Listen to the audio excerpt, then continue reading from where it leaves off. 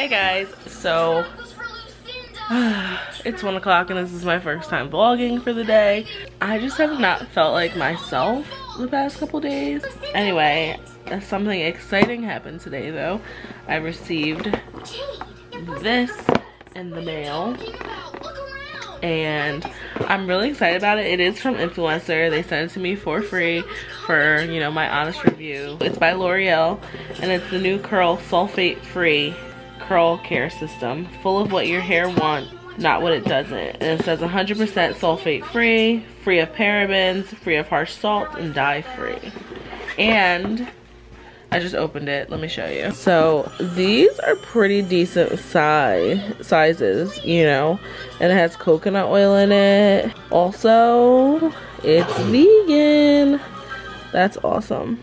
Anti-frizzing de definition. I'm really excited. And then this is a Sculpt and Hold Cream Gel. I'm excited about that. And then this is the conditioner, Hydracharge. I'm really excited to try that because you guys know that I do wear my hair curly like in the summer. So I'm excited to try it out. I might be wearing my hair curly in the winter. Never know. Um, I am gonna open it and see how it smells. Okay, so the first one that I opened was the conditioner. And we're just gonna smell. Oh my gosh. This smells so good. Oh my gosh. I wish that you can smell through the screen because that smelled so good. I feel like with when you wash your hair, like your hair smells mainly like the like the conditioner if you wash that last. I was looking for a sulfate a sulfate? A sulfate free shampoo and conditioner because uh you know it's not good for your hair and I'm trying to do my do be nicer to my hair and all that. So this is the shampoo. It probably smells the same but we're gonna try it anyway.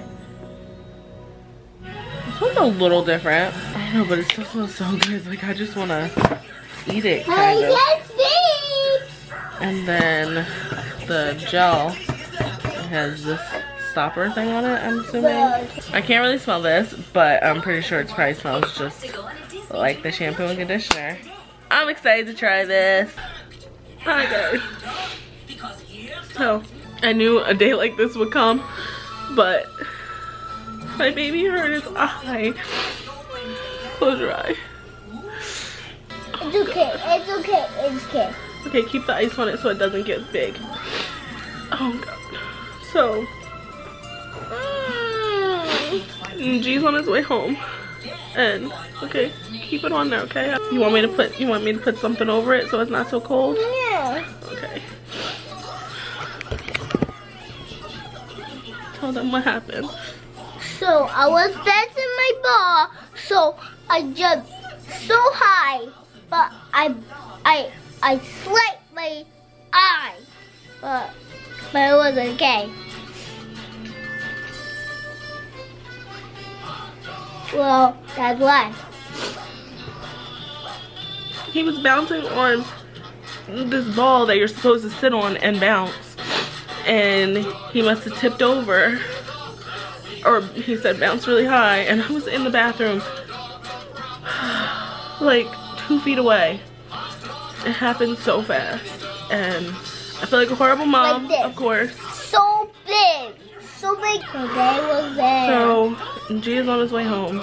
And we're about to take him to urgent care. no, no. No, we're just gonna go to urgent care and make sure it's okay. Oh, Okay? Don't want to go to doctor. You wanna go to the doctor? No. The doctor. I just want to give a quick update. We went to the doctor.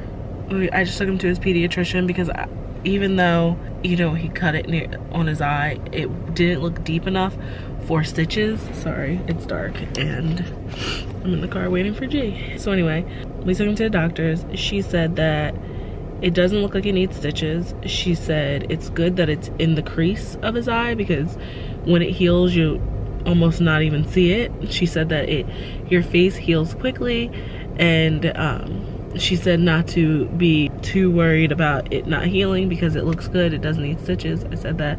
She said to wait to put Neosporin on, which I don't understand why, but she said to wait to put the Neosporin on and then um, start putting it on. But she said he's definitely gonna have a black eye.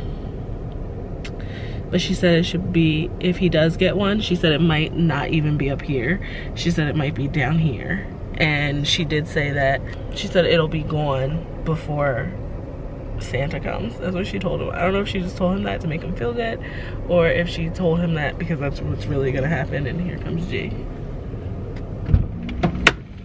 So we're home now. Sorry about in the car. We ordered food and I wanted to make sure that we had everything that we were supposed to have. He seems okay now. He fell asleep in the car when I was vlogging before he was asleep.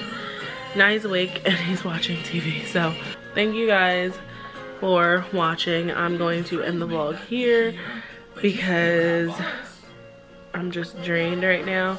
I'm sorry that I cried on camera. I don't like to do that, but I was just very, very upset. It had just happened and that's that.